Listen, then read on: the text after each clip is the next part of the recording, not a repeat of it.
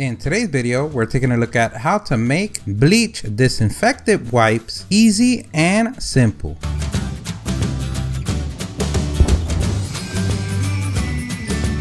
This is so easy, anyone could do.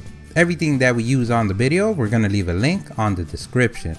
Even related videos like how to make DIY sanitizer, a bleach based disinfectant spray, and these are the things that you're gonna need. You're gonna need bleach, water, measuring cups, measuring spoons, a can of coffee, or you can even use your empty protein bottles. All that investment is finally gonna pay off in this video. That's why here in the StatUpBox team, we have your back. You might have not gained any muscle, but at least we're showing you what to do with those empty protein canisters you had to show off when people come over.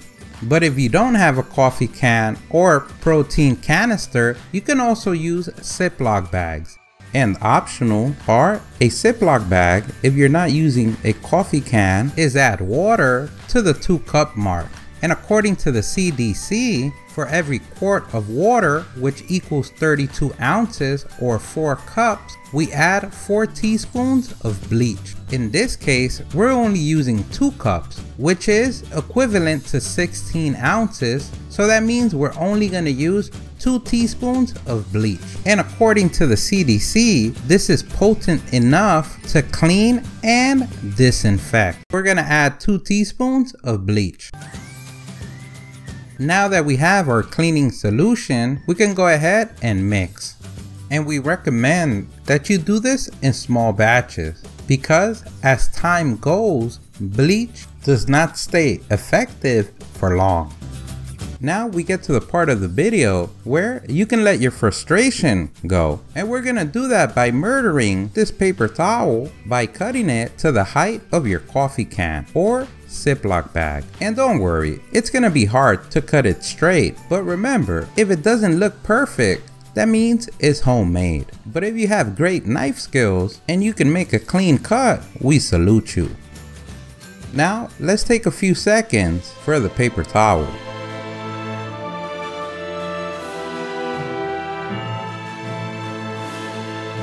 Let's get back to business now. Let's take your coffee can and we're gonna make a slit on the top. And this is gonna make it easier to remove each wipe every time. And also a key component of the disinfecting power of this solution is keeping your wipes wet. So you don't want to make a big hole. Or if using a Ziploc bag, you always want to keep it airtight. And remember, as best as you can, we encourage mistakes we're ready to place the paper towel on the coffee can or Ziploc bag, let's go ahead and take this paper towel to the jacuzzi. We're gonna pour the liquid all around the paper towel slowly. And this is gonna make sure that every inch is gonna get saturated with the liquid.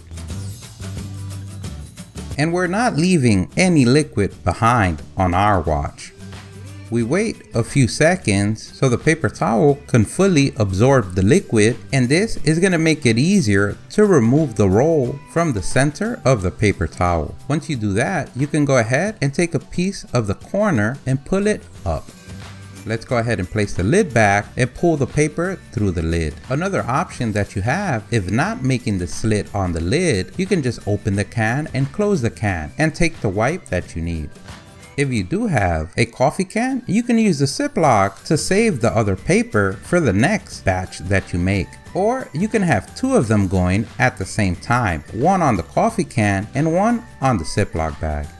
And you know guys, girls, both or none, that here at the StatUpBox team, we love you. So we want you to take care of yourself, be safe, flex those muscles, and keep showing off those protein containers. Don't forget, if you liked the video, please give us a thumbs up. That really helps. If you have any questions, place them in the comment section below.